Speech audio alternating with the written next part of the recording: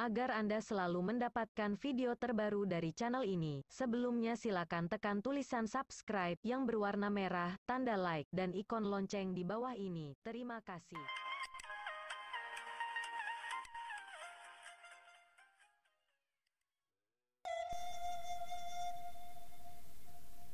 Pokok itu bantuan keuangan atau bantuan jasa. Tentu saja sepanjang tubuh bayang-bayang. Biar dari tingkat mana pun, mama intelek atau mama awam, kaya atau tidak berpitih, namun rasu bakal manakan tak kehilang dari hati si mama. Berapa banyak kemanakan yang berhasil disubarangkan mama, mama jauh mama dakek sama saja. Kok profesinya manggale, diarahkan ke dagang. Kok beliau pegawai disekolahkan atau diusahakan kerajo. Andai kata tibo dun sanak pai bayo tantang suaminya nan tak pulang-pulang atau apa si buyuang sakit-sakitan tak berubah pada umumnya lah ia bertanggapi. Kok bakal araran tentu. Ha. Datang orang Sumando mengadukan anaknya ke rengkang tak tabantua. Rumah kekene gusur paja dalam marurang. Kadang-kadang melaporkan rumah tanggunya bersiarak, pedusi lah salah langkah, pajan, bujang lah tarambau dan lain sebagainya, nampaknya lagi bertanggulangi. Tibo surat dari kampung mengabarkan dapur leruntuah, sawah kane galodo, parak di kisah orang, pendeknya macam-macam lah. Aduh kalau mamak lagi pulang, kalau indak wesel malayang. Kalau nanari bayak bulan bayi, ah biarlah ke sumpuak bantai ko rutin ko. Lai.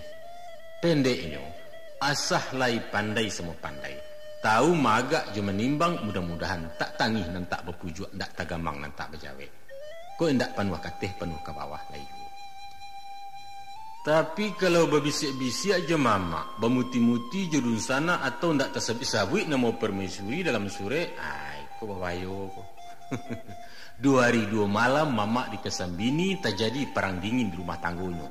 Kesudahannya tainayo mama ulah di awal. Kanai kali pun pihak dari istri mama. Kok mailia seketik-seketik ke kemanakannya biarlah Rasa kurang pulo. Nyokok dape, awak menjago-jagokan papa sedi, weh. Nyampang tibu mituo sekali-sekali bapak rasukan gua. Jago makannya lapihnya pulang. Papa tahu orang tua kalah. Arok je sawah pabaya ibanda. Aku indah. Merutuk-rutuk ke suami. Hm? Awak saja nama nandehan. Ikulah kadi bantu, itulah kadi kirimi. Waktu kita susah layuran nama dok, layuran matanya. Gawat, Sabaliaknya pula. Sabaliaknya dek dun sana. Tahu-tahu laju bini mama. Kok nan sanang bana hatinya ke beliau meminta. Pasti gadang rarehnya ayo lah. Dak bak do di patik-patik astek cuma aja burung ketiran kue ke dia Tapi kadang-kadang kan gaji aku dawak bamusuhi Korea Kuino tu bau pe bahasa golo macam kan dak nak lebih bini lah tabulakang bana wak kini malang bana kalian mama kasudahannya parang ramuan mama juo nama nangguangkan eh, masalah mempertengahkan kampung kulai bana apa makan kau hampir tiap kampung ada organisasinya setidak-tidaknya bantu arisan Biasanya di lah mencari dana. Gadang kayu, gadang dahan tapi gensi kalau tak satu. Tak kumpul piti berkirimkan pulang. Ada untuk sekolah, ada untuk madrasah, mix musaji, alat-alat olahraga pemuda dan lain-lain objek pembangunan. Ku ada orang kampung awak na lampu kuning di perantauan, biar tak sasa idui atau memecah buik merusak nama kampung, aiko bapusong samuikan kau. Patut dipulangkan yo dipulangkan. Patut dipesuamikan dicarikan orang walaupun baalah kecaronyo pendeknya ndak janjang kayu di kapiang ndak ayah talang dipancuang si puluh masonyo guno kain pelampuk miang guno pitih pelampuk malu itu sebabnya di antara baribu-ribu gepeng yaitu gelandangan dan pengemis nan barumah karate kardos nan maunyi kolong jambatan atau menyapiknya puntung rokok alhamdulillah ndak sakari yo pun orang awak syukur ada nang ganji ya benar. Samantiko mantiko pemuda wa nan karajonyo kalua masuk daerah hitam tapi paling tak sanang hatinya kalau basu orang pedusi Minang ada di dalam. Walau inyo nak kenal sama sekali. Pajaku mesti dihalaunya keluar. Ndak lantai angannya surang dilaporkan ke ketua. Senggonyo ndak biah orang pedusi awak membuat cabuah. Sampai kini baik itu. Kok lai mana cek-cek tapi biasanya ndak ketahuan kalau ini orang awak. Nyo menyuruh ilang-ilang memakan nabi habis. Apa dasar sebenarnya tu?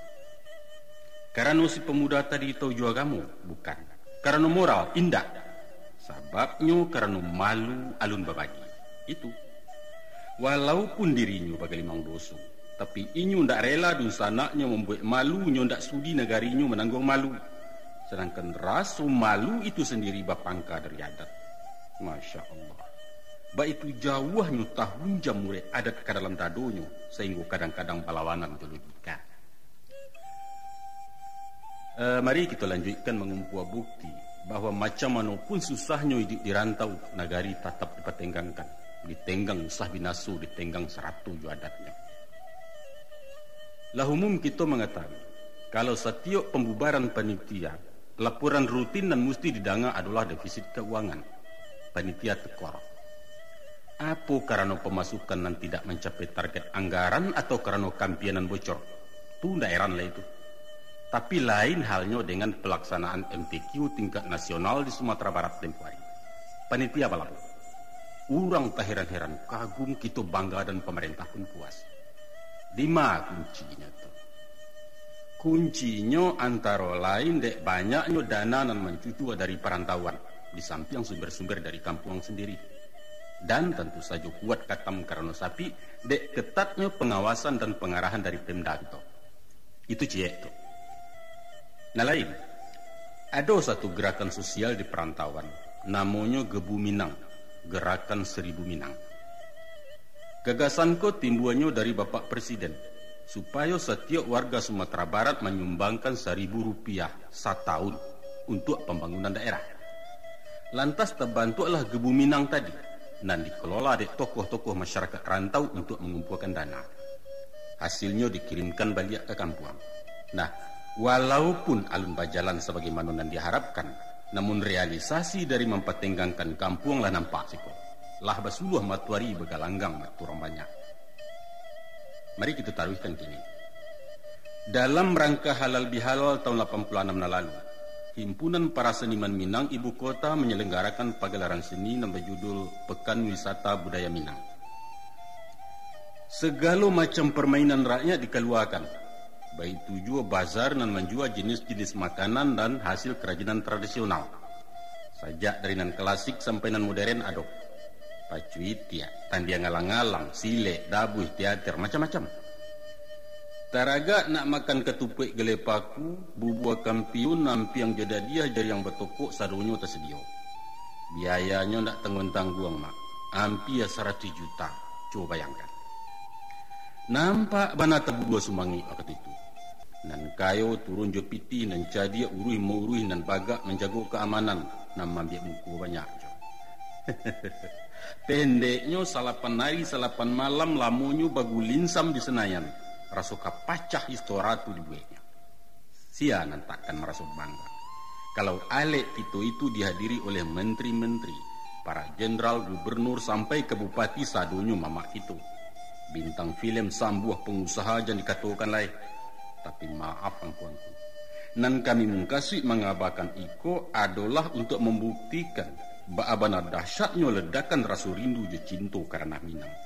Keliru kalau ada nama pendapat orang awak merantau mau dandam. Omong kosong itu.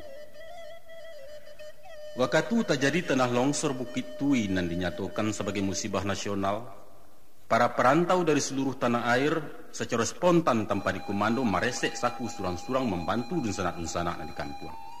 Konon kabanyo dana nan takumpu mencapai jumlah satu miliar. Alhamdulillah.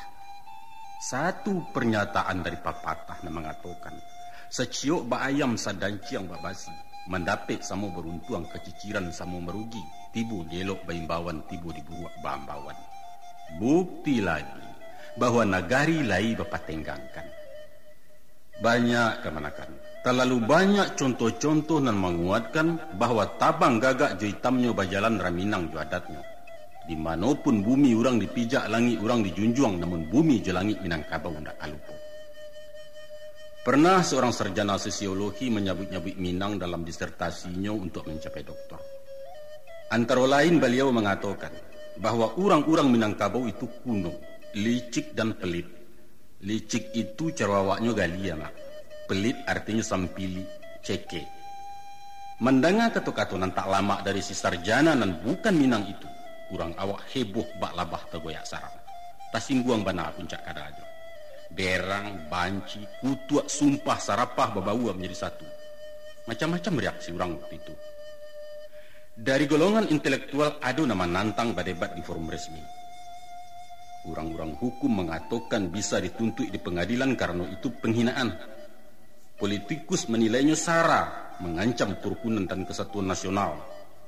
Para remaja berkomentar, pajatu sekiati ke pemuda Minang sebab cintonya ditulak nan pareman manggarega tan sano laki-laki de lapu muncuang pajatu dan lain sebagainya dan lain sebagainya akhirnya dengan beberapa pertimbangan masalahku didiamkan saja nah terlepas dari persoalan iyo atau indah batu atau salah nan nyato reaksi spontan itu bertolak dari harga diri sebab barang yang dicintoinya dicaci uang seolah-olah orang awak ingin mengatakan right orang my country Kok rancak ke buruak nagari den manga-manga ke kau.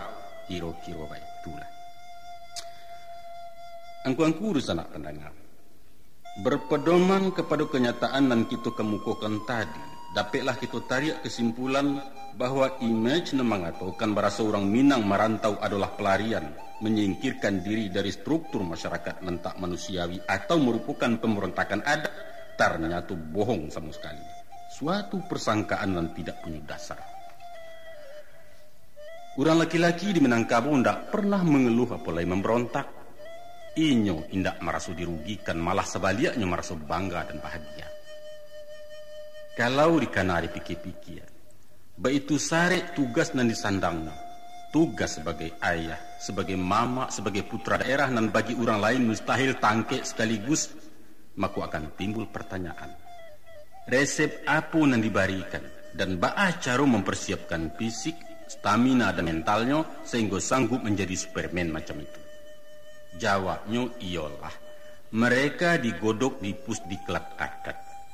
Apa pula itu pusdiklat adat? Pusdiklat dan nambung kasu ialah surau. Mulai umur tujuh tahun anak-anak Minang diharuskan masuk ke pusat pendidikan dan latihan tadi. Sampai kemudian siap untuk diterjunkan ke masyarakat. Melalui pengawasan dan ketat, mereka diasiangkan dari rumah. Makannya indak boleh dikanyangkan laluknya di papan karajunya bagu balo. Moralnya dididik jo agamo, fisiknya dilatih besilek dan mentalnya diajar persambahan. Daftar kegiatannya kira-kira macam kok.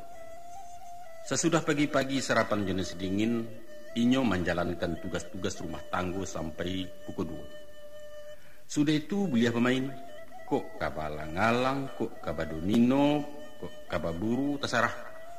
Namun permainan itu adalah pelajaran dan mesti disimak maknanya. Selesai sembahyang maghrib, bakumpu di surau, mengaji. Sudah pulau mengaji turun ke laman surau, besilek. Sebelum lalu adalah pelajaran cerdas cermat, yaitu parang pantun dan takutaki. Iko gunanya mempagali lidah kok. Kemudian baru lalu di lantai bagaluang jokain saruang. Bisuak pagi garuntang punta pulau kaya sumbayang baru pulang langsung ke pua basu nasi dingin. Ba itulah siklus kegiatan sepanjang. Sehingga kalau dicaliak kepada padatnya jadwal pelajaran, praktis anak laki-laki tidak pernah merasa di rumah.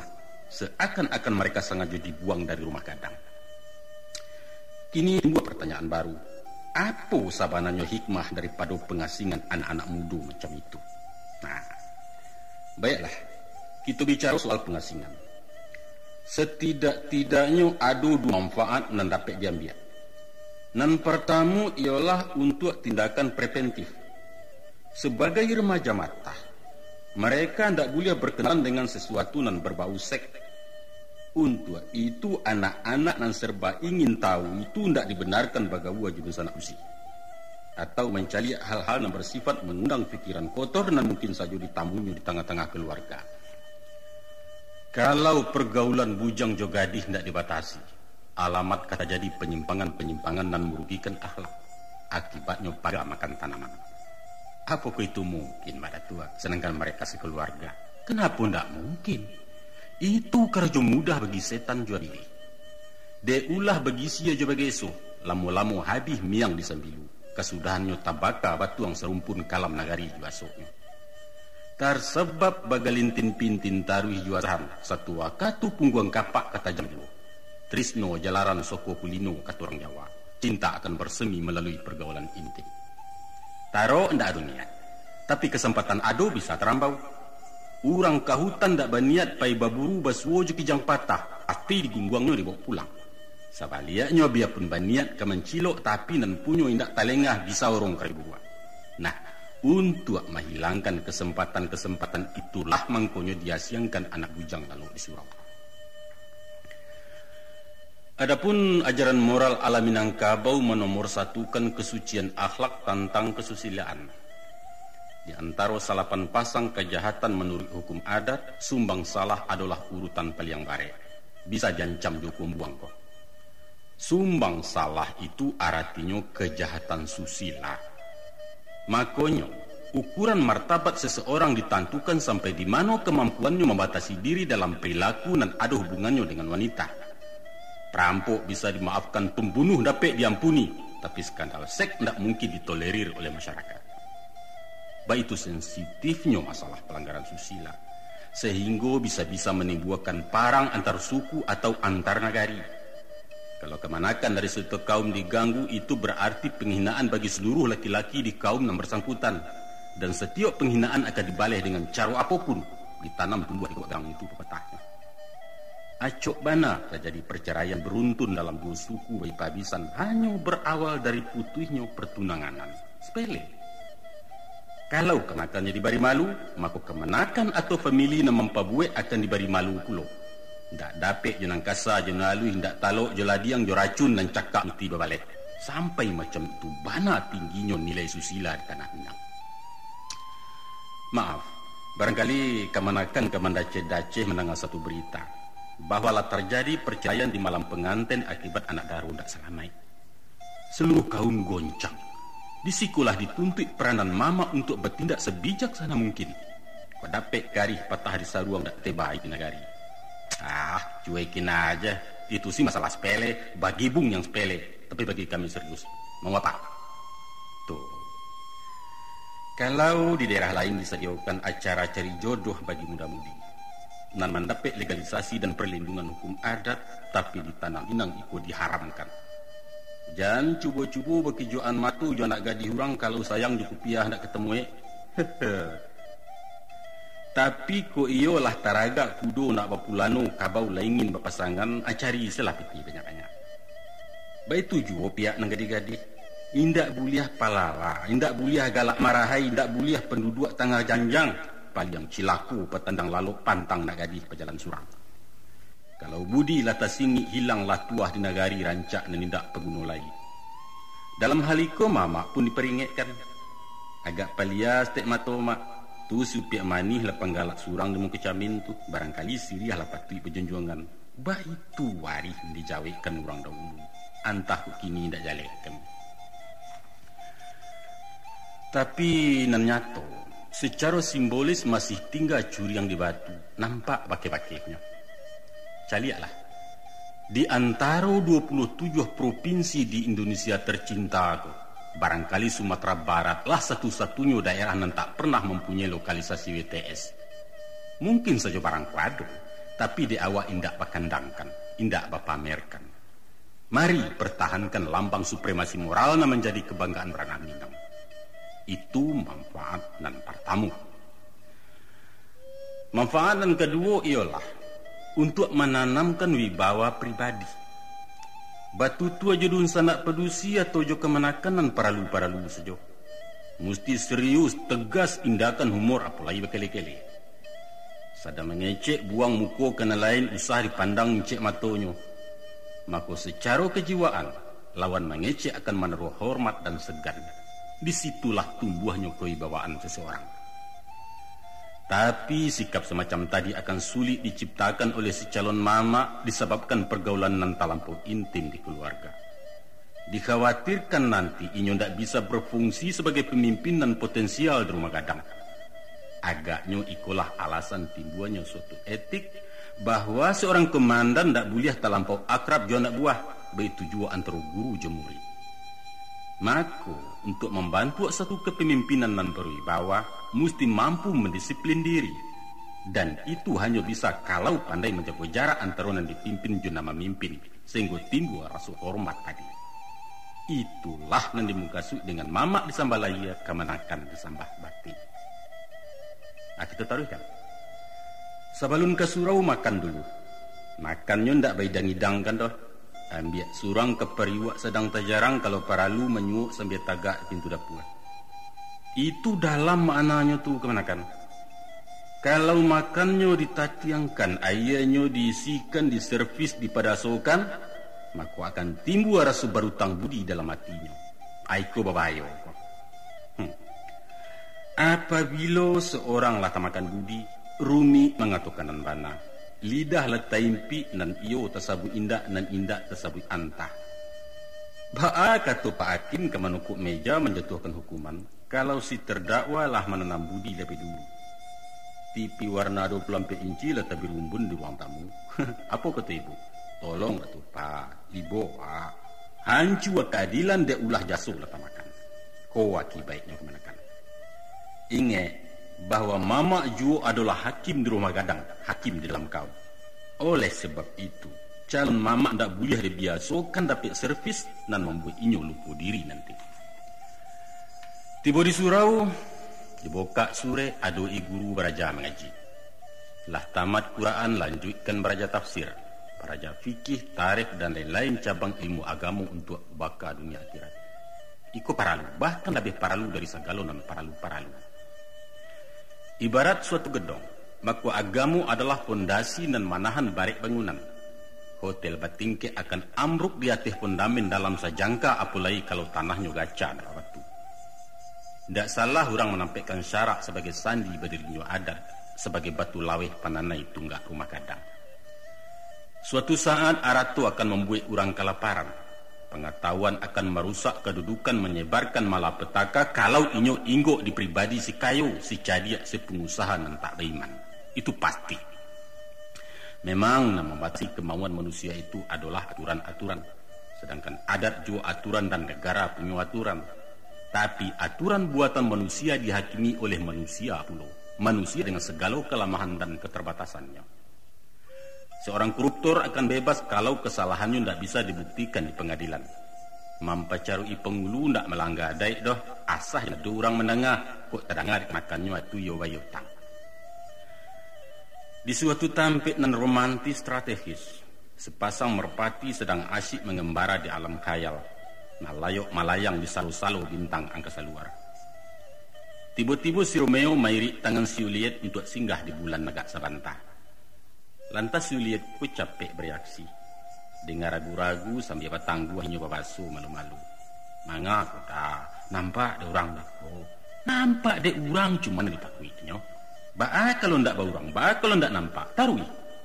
Maka runtuhlah suatu pertahanan terakhir sebab bentengnya dibangun dari batang pisang dan rapuh, bukan dari cor beton batulang wajah, bukan benteng iman atau jaminan Allah. Na'udzubillah min zalik. Jadi kesimpulannya, agamu mesti dipakukan arek dalam jiwa para remaja. Mesti ditatar, mesti dididik, mesti dilatih. Kemudian Selesai pendidikan rohani dengan mengaji, maka kini pelajaran beralih ke pendidikan jasmani. Turun bersama-sama kalaman surau untuk balatiah bersilih. Seorang calon ayah, calon mama, calon pemimpin harus sehat badan kuat dan gagah. Inyo diajar barani madoi segala tantangan dari mana pun datangnya. Anak-anak Minang tak boleh loyo, tak boleh cengeng, apalagi maringek-rengek minta dikesiani orang lain. Dia terpentas kehidupan acuk bana basua sewenang-wenangan dengan berbagai alasan. Tapi nan nyatu setiap kezaliman mendatangkan sansaru di masyarakat. Nan bingung makanan cadia nalamah mati di garata nan ketek terjelapak di salok kaki wang kadang. Dalam kondisi macam iko dibutuhkan munculnya seorang pahlawan. Syaratnya cie, yaitu baga. Baga bukan dalam artinya batinju, tapi baga merubah sesuatu atas kebenaran, baga mengatakan nan hak walaupun pai. Maka tampe mencari baga itu di sasaran, bukan di sasana. Sasaran itu letaknya di laman surau. Nah, baiklah. Kita lanjutkan. Selesai pulau Beraja Sile, maka siswa-siswa naik ke surau istirahat. Dalam menanti mato takantu ada puluh acara bebas. Di sudut tadanga batakotaki di ilia babaleh pantun di ulu berdebat berdiskusi di tengah mapa kesembahan. Kasadonyo itu adalah baraja memahami aspirasi orang, peka dan tanggap dengan situasi. Kemudian capek bereaksi. Itulah unsur-unsur untuk mencetak seseorang menjadi arif, jadiak dan lihai.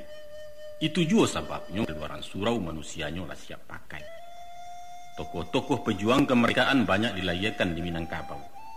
Mereka bukan sarjana tapi sanggup merubah jarum siarah. Kalaupun ada nan lulusan sekolah Eropa namun pendidikan dasarnya di surau.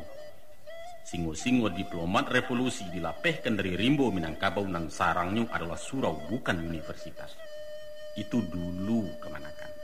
Dulu semasuk merintis, marabui dan mempertahankan kemerdekaan. Tapi kini di era mengisi kemerdekaan kini bah, antahlah. Selain daripada itu, di bidang keamanan dan ketertiban surau berperan penting. Dengan diasramakannya anak-anak akan mudah mengontrol kegiatannya dalam masyarakat umpama kapatang ado gadi nan tapaki ado ayam nan takeo atau paga nan tarompak cari orang nyosia nan takalut surau petang. Nyampang kampung kamasuakan lanun datang mengamuk kebakaran dan lain-lain tokok saja pintu surau. Kemanakan sakironyo orang kini sempat mencari keadaan pemuda tempo dulu lalu di surau. Kesannya cuma cie. Menyedihkan. Ya menyedihkan atau orang lain akan berkomentar sampai hati ibu-ibu Minang menyiksa anaknya tidur di langgar. Memang, memang menyedihkan. Bakasua lantai pelupuah superai jola piat pandan tangan di katua jadi banta saruang kuntang buang keselimut. Persis gelandangan dan tiwa di kaki lima. Padahal di rumah gadang apa nindak. Rumah nanti buatkan memakan duangnya salimut tabah pembeli ayah atau paragiah dari bako. Tapi memang baitulah seharusnya ditampil latihan. Latihan ketahanan fisik dan ketahanan mental. Mesti kuat menahan dingin, entah nanti mungkin kalalok di tengah padang basau ambun. Pungguang nalah tabiaso yunan kareh tidak kecangguang kata gamang lai kalau tapaso tidur di batu bakalang tunggu dalam hutan. Ya, perjalanan hidupku ndak salah mani, ndak salah mulus. Siapa tahu nak kata jadi. Malang jemuju ndak cari tangga dari badan. Dunsana dan kemanakan penanga Ada ajaran kuno orang Saiswa Yaitu jan palalok pagi. Mesti dahulu bangun dari ayam jan pada rasa kiri cotoknya. Untuk itu Satu tadanga tabuh sebuah belompean kepincuran atau ke batangai yang mandi ranang berkecimpuan Selesai sumbayang berjamaah pulang ke rumah ranggai Mando-ando jalan ke dapur jan tausiah orang semando tengah rumah sudah tu diresek tu duang saji sarapan jo nasi dingin. Ba'a mangkunya nasi dingin. Ha, sudah ngakan. Supaya prihatin dalam hidup. Kok nalama tentu yo sagaluange. Nan sagaluange tu tampeknya di lapau kalapau tujuh pitih. Abaraka aba urang lenteh kenangan. Tapi kalau indak baputa kinci-kinci jangan diarok nasib kebarubah. Sapah dibuyuang nasi dingin bungkuaklah lalu disuruh menanti matu ketebuka. Kemenakan dan Nusana Penanga itulah antara lain rahasio-rahasio ajaran dan basuo dalam lembaga surau. Pada pokoknya anak-anak diajar menderita. Penderitaan memacu inisiatif dalam memburu cito-cito. Secara psikologis, kehidupan mewah dan manjo malamahkan daya juang. Tantangan ringan dirasukannya sangat barek tersinggung lebih apa kanai. Sehingga dalam arena hidup ini mudah frustrasi, lah kalah sebelum bertanding.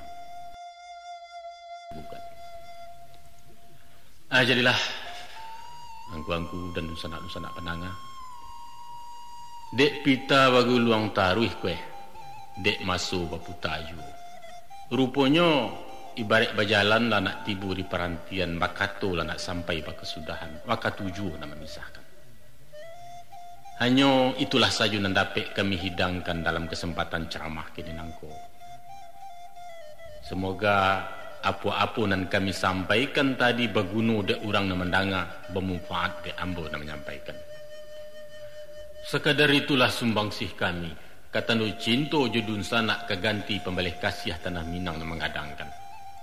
Insya Allah akan kami susulkan sambungannya pada produksi nan datang. Mudah-mudahan. Akhirnya